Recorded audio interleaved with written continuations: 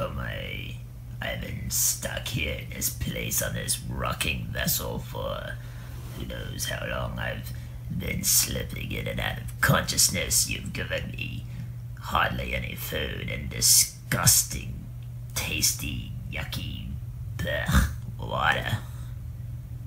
You want to know where it is? You want to know where the treasure is? Well, there's no map. I know these waters. The father before me and the one before them. Yeah.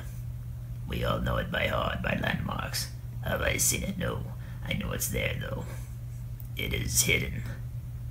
I promised my great father before he died. Anyway, you want to know more? Time, you get me out of here. You get me out of here, I'll tell you.